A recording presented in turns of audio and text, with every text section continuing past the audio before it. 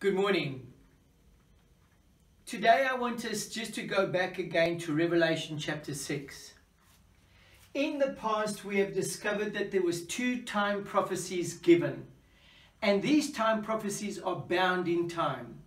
The first one was Daniel 9 verse 24 through to 27 and it pointed us to the first coming of Jesus Christ and to his ministry there and to the Jewish dispensation of time.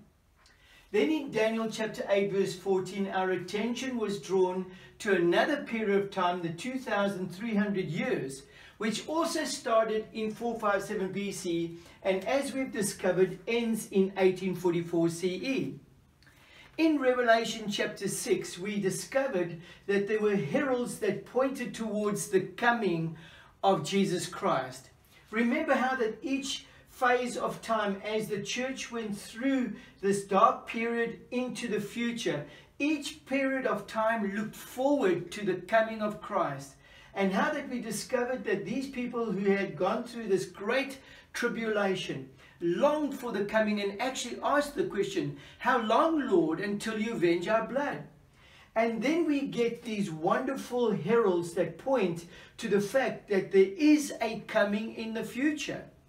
It's interesting that around this period of 1844, a person by the name of William Miller, he was a farmer, in his search of scripture and in his longing for Christ to come, he discovered that this period of time was pointing to something that was crucial and he actually announced that in 1844 that Christ would come in the clouds of heaven as he had promised. And you know, as I look at the scriptures, I almost have the same, draw the same conclusion as William Miller did.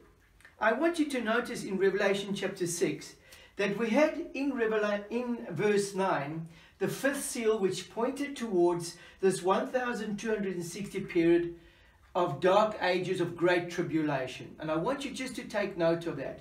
It's, it's the great tribulation time.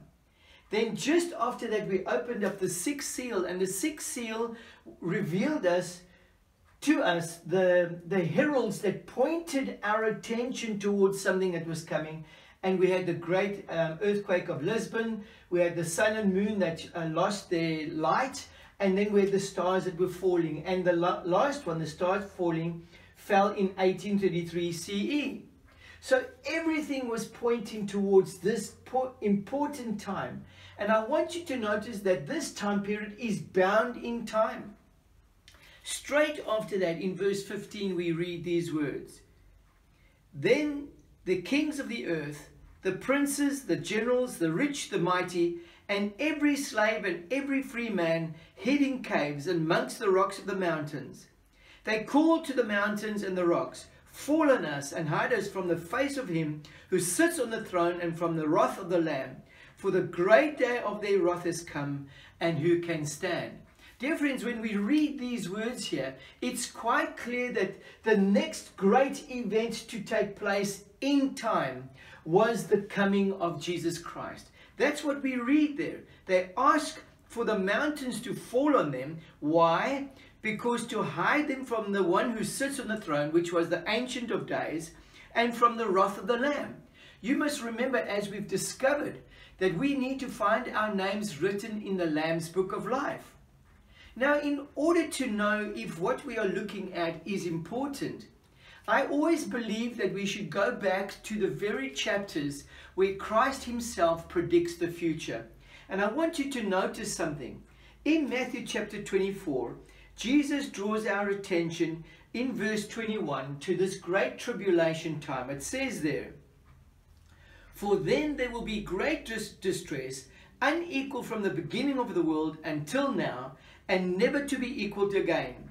If those days had not been cut short, no one would survive, but for the sake of the elect, those days will be shortened. So we see quite clearly that Christ points our attention towards this specific event in this time period. But then he says further, and I want you to take notice of this in verse 29. Immediately after the distress of those days, immediately after the distress of those days, he says, the sun will be darkened, The moon will not give its light, and the stars will fall from the sky, and the heavenly bodies will be shaken. So straight away he also draws our attention to the Lisbon's earthquake, the sun and the moon that turned dark, and the stars that fell. And we see quite clearly that Christ is taking us along this timeline. It's also interesting that during this time period, he warns us that we are to be careful of false Christs and false prophets. But then I want us to go to verse 30. Now, verse 30 is taking us beyond this time period. And it says there in verse 30, At that time, the sign of the Son of Man will appear in the sky, and all the nations of the earth will mourn. We've just read that in Revelation chapter 6. It says further, They will see the Son of Man coming on the clouds of the sky with power and great glory. You will recall how that in Daniel chapter 7, we saw that Christ was given power after he had done his administrate or his ministerial work here. He was taken into the presence of the Father. He stands before the Ancient of Days, pleading on behalf of mankind, and power is given to him to decide the destiny of mankind. And we see here quite clearly with power and great glory. So our attention is drawn to the fact that what Christ envisions as the next great event was the second coming. The question is asked then at the end of Revelation chapter 6 who can stand in this great day? It says there, for the great day of their wrath has come, and who can stand? Dear friends, I want you to understand that there was nothing stopping the second coming of Christ as far as prophecy was concerned. But the condition of mankind, they were not yet ready.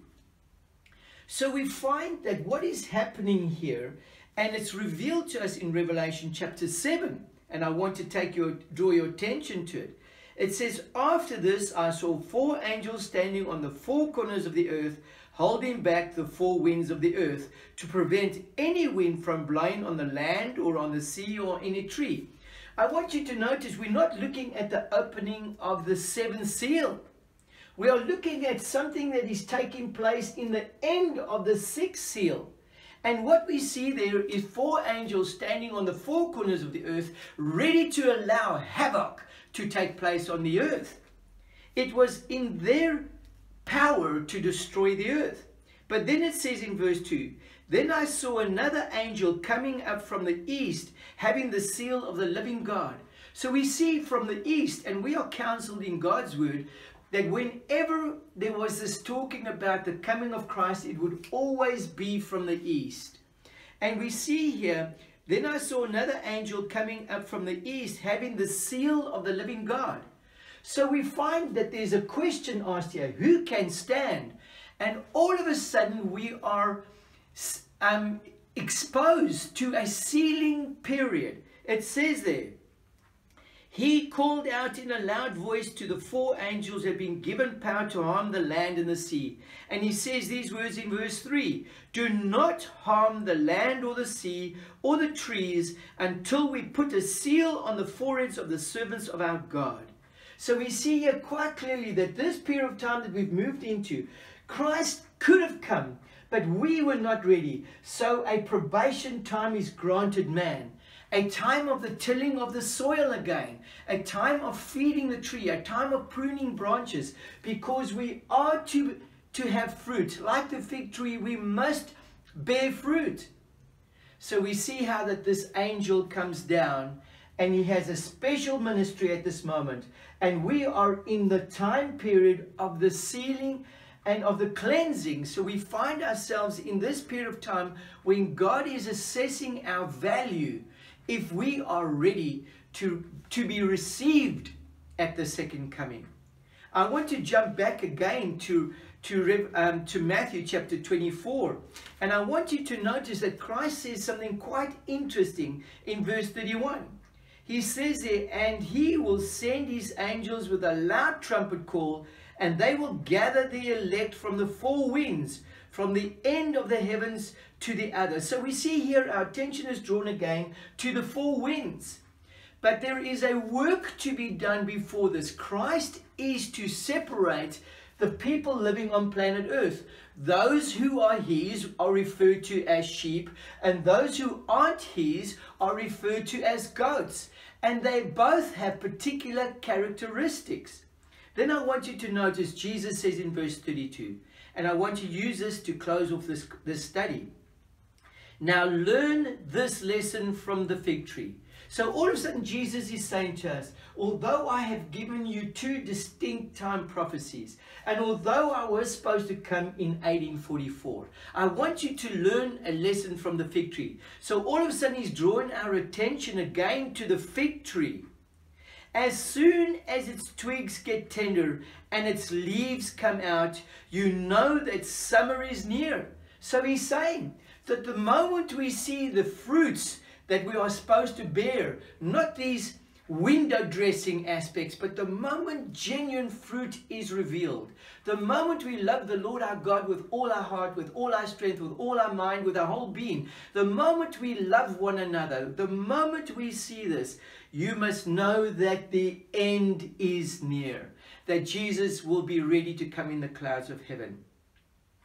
So you see here it says, even so, when you see all these things, you know that it is near, right at the door.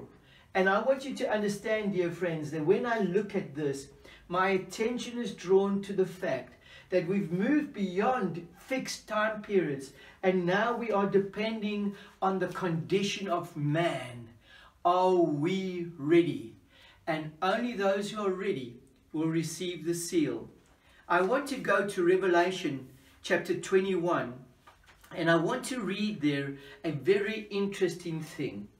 I, uh, in Revelation chapter 21, I'm going to be reading from verse um, 26.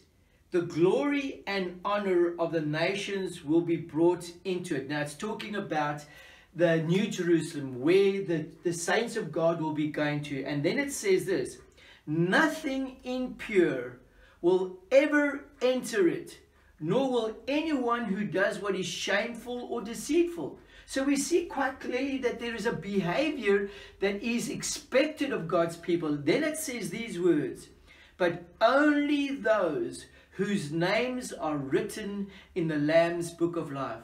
So dear friends, right here I notice some very interesting things taking place. We are being cleansed at this moment through the fiery trials of life we are given a probation time period. And the probation time period is for two things the separation, the sifting from good from bad, and then the seal of God to be placed on the children that belong to Him.